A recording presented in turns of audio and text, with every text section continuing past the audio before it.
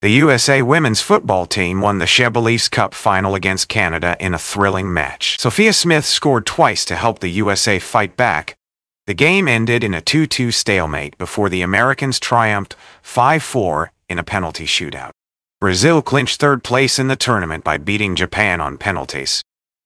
The match showcased the competitiveness and skill of women's football on the international stage. The USA team demonstrated resilience and determination to come out on top in the Overall, the SheBelieves Cup final was a closely contested and exciting match for fans to watch.